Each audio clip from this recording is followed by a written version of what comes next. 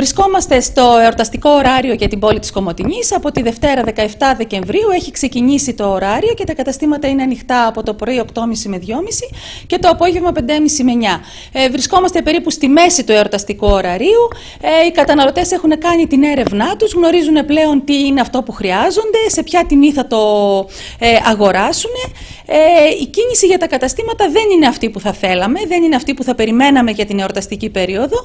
Ωστόσο όμως πάντα ε, αυτό που κοιτάμε είναι πρώτα να καταναλώσουμε πάντα ό,τι αφορά το παιδί λόγω των εορτών και αυτό κυρίως που προσέχουμε πάντα τις τελευταίες μέρες και έχει πάρα πολύ μεγάλη ζήτηση είναι όσον αφορά το εορταστικό τραπέζι που έχουμε δει τις τιμές, έχουμε δει το τι θα καταναλώσουμε και είναι και στα ήθη και στα έθιμα της παράδοσης όπως ήθιστε αυτές τις μέρες. Ε, οφείλουμε σε αυτό το σημείο να πούμε ότι έχει αλλάξει πάρα πολύ και η καταναλωτική συνήθεια των ε, πολιτών διότι τα τελευταία χρόνια, τα τελευταία μνημονιακά χρόνια έχουμε συνηθίσει να έχουμε περισσότερες από δύο εκπτωτικές περιόδους και να έχουμε και πάρα πολλές προωθητικές ενέργειες.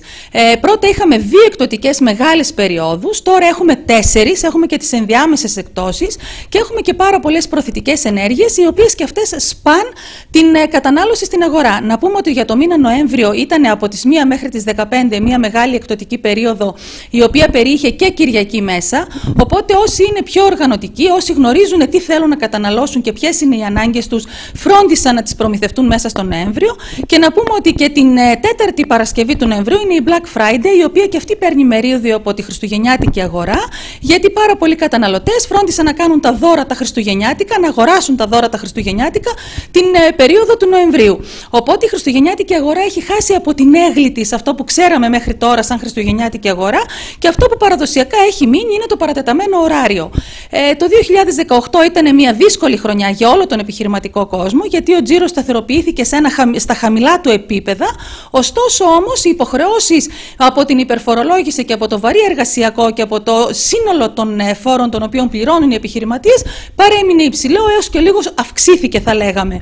Ε, λόγω του ερωταστικού ωραρίου και επειδή πάρα πολλοί επιχειρηματίες, πάρα πολλοί έμποροι θέλουν να ενισχύσουν την ε, κατανάλωση στα καταστήματά τους, ε, φέτος έγινε κάτι πάρα πολύ πρωτότυπο για την ε, πόλη της Κομωτινής. Ε, πάρα πολλές αγορές, πάρα πολλά καταστήματα τα οποία συγκεντρώνονται γύρω από κάποιον εμπορικό δρόμο ε, πήραν πρωτοβουλία και δημιούργησαν κάποιες εκδηλώσεις όπως είναι με κάποιον DJ, κάποια μουσική, κάποιο face painting για, για παιδιά και σαν στόχο είχε να προσελκύσουν περισσότερο κόσμο, να προσελκύσουν περισσότερους καταναλωτές για να μπορέσουν να δουν τα καταστήματά τους και να έχουν καλύτερη κατανάλωση στα καταστήματα. Είναι μια προσπάθεια την οποία την επικροτούμε, γίνεται και αλλού, δεν, είναι, δεν είμαστε πρωτοπόροι, γίνεται, το έχουμε ακούσει.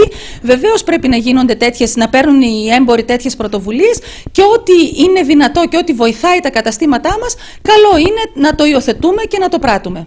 Παρόλα τα αυτά, ε, είμαστε στη μέση της ε, εορταστικής περίοδου. Έχουμε ακόμη χρόνο μπροστά μας για να μπορέσουμε να καλύψουμε τις ε, υποχρεώσεις οι επιχειρηματίες αλλά και τις ανάγκες τους οι καταναλωτές. Αισιοδοξούμε να πούμε καλές γιορτές σε όλο τον κόσμο, υγεία, αγάπη, ευτυχία ε, και το 2019 είναι μια χρονιά ε, αγάπης, μια χρονιά ανάπτυξης, μια χρονιά ευημερίας, μια χρονιά που θα μας φέρει όλα όσα δεν μπόρεσε το 2018 και πάνω απ' όλα αισιοδοξία σε όλους τους πολίτες και σε όλους τους ε, επιχειρηματίες, σε όλους τους καταναλωτές.